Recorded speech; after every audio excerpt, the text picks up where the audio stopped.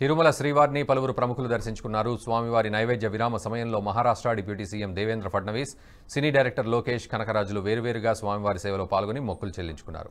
దర్శనం అనంతరం ఆలయ రంగనాయకుల మండపంలో వీరికి వేద పండితుల వేద ఆశీర్వచనం అందించగా ఆలయ అధికారులు పట్టు వస్త్రంతో సత్కరించి స్వామివారి తీర్థ ప్రసాదాలు అందజేశారు.